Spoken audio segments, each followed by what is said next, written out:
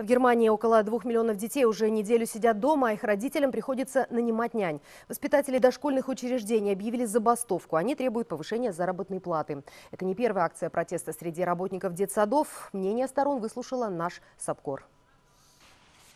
Четырехлетней Франции и полуторагодовалая Адель по привычке каждое утро собираются в садик. Туда, где ждут сверстники, игры, занятия по музыке. Но вот уже больше недели родители оставляют их дома, а мама взяла вынужденный отпуск. У меня четверо детей, двое из них ходят в садик. Из-за забастовки открыли дополнительные садики. Мы пытались отдать туда детей, но там новые воспитатели. Детей не кормят горячим, поэтому сейчас они дома со мной. Эта неделя была стрессовой и для детей, и для нас.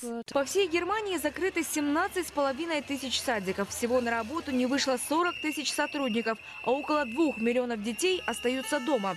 Проблемы родителей на этом не заканчиваются. Помимо забастовки в сентябре должна подняться оплата за дошкольное образование в среднем на 20%.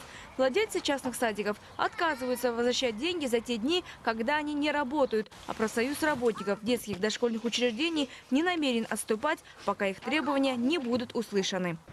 Haben erlebt in den letzten Jahren, dass В детсадах и учреждениях для людей с ограниченными возможностями работают высококвалифицированные кадры. Это сложная педагогическая работа и требования к ним высокие. Мы требуем, чтобы были пересмотрены тарифы зарплат для 240 тысяч воспитателей. Это одна треть специалистов, которые работают в этой сфере.